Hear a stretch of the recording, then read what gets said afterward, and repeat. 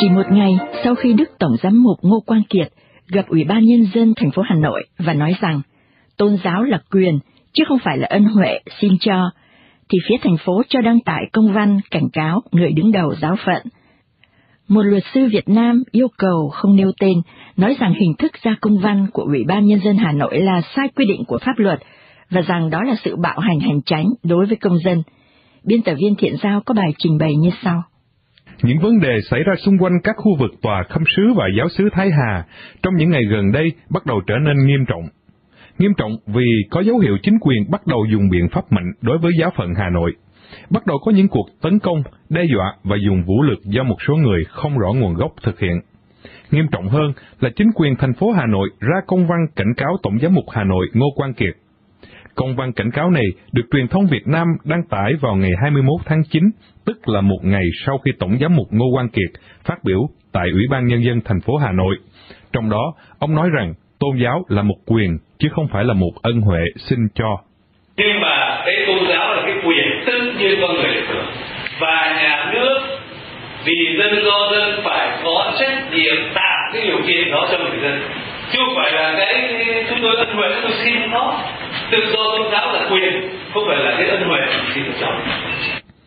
nhưng có lẽ quan trọng hơn nữa, xét trên khía cạnh pháp lý, chính là sự vi phạm pháp luật của thành phố Hà Nội khi đưa ra công văn cảnh cáo như đã đề cập. Công văn cảnh cáo ấy, theo một luật sư Việt Nam yêu cầu không nêu tên, mang tính cách của một sự bạo hành hành chính đối với công dân. Trong vụ cảnh cáo Tổng giám mục Ngô Văn Kiệt, tôi thấy việc Ủy ban nhân thành phố Hà Nội cảnh cáo ông Kiệt là một hành vi trái với các quy định pháp luật hiện hành. Thứ nhất, á, cảnh cáo là một trong những hình thức xử phạt vi phạm hành chính.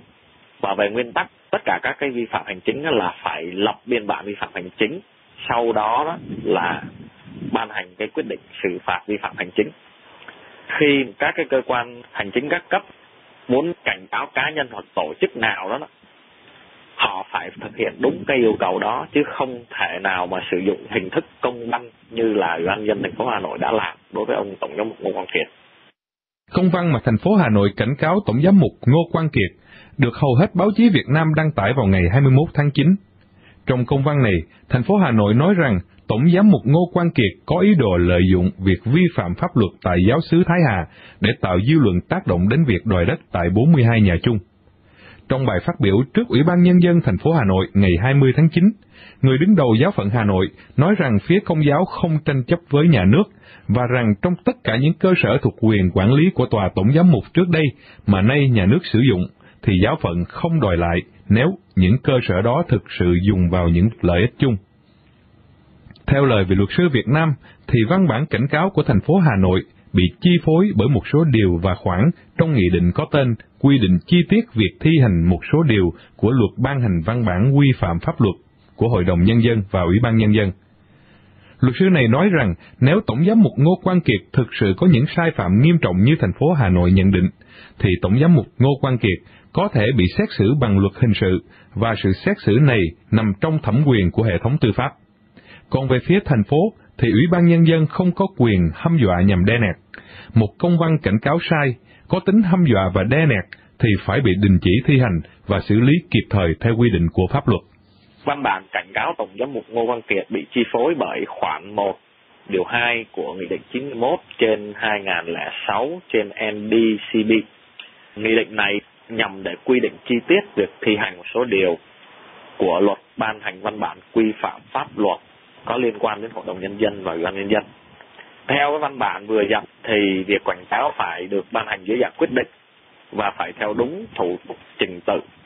đã được quy định tại bộ luật ban hành văn bản quy phạm pháp luật. Phải chứa quy tắc xử sự chung. Ở Việt Nam người ta thường gọi là quy phạm pháp luật. Được áp dụng nhiều lần đối với mọi đối tượng hoặc một nhóm đối tượng mà có hiệu lực trong phạm vi địa phương. Đồng thời phải được nhà nước bảo đảm thực hiện bằng các biện pháp theo quy định pháp luật văn bản cảnh cáo tổng giám mục Ngô Văn Kiệt đó, thì thiếu hoàn toàn các cái yếu tố vừa kể. Mà như vậy thì theo khoản 3 điều 2 của Nghị định 91, công văn cảnh cáo phải bị đình chỉ thi hành và phải xử lý kịp thời. Cái văn bản nó theo quy định của pháp luật là phải thu hồi nó lại. Trong số những cơ sở mà Tổng giám mục Hà Nội đề cập trong bài phát biểu của mình, thì trường Hoàng Kiếm, Bệnh viện Sanh Paul, Bệnh viện Bài Lao sẽ không bao giờ được nói tới. Đó là nguyên văn của lời phát biểu của Tổng giám mục Ngô Quang Kiệt. Tuy nhiên, ông cũng nói là khách sạn Láng Hạ và tòa khâm sứ thì sẽ được nói tới, vì những nơi này được sử dụng với mục đích kinh doanh. Dư luận cho rằng công văn cảnh cáo của thành phố Hà Nội có vẻ là một sự trả đũa vội vã, nên chính chính quyền thành phố đã vi phạm luật pháp. Vị luật sư Việt Nam thì nhận định là các quy định của luật pháp cho thấy Ủy ban Nhân dân Hà Nội sai thẩm quyền về cả hình thức lẫn thẩm quyền về nội dung. Một sai phạm có tính cách bạo hành trong quản lý hành chánh và cần được đình chỉ thi hành ngay lập tức.